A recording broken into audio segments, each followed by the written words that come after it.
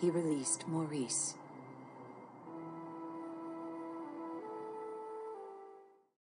Free from the castle, Maurice raced to the village tavern, where Gaston and his admirers lounged about. I need your help, Maurice begged. A horrible beast has Belle locked in a dungeon. The crowd just laughed. Crazy old Maurice.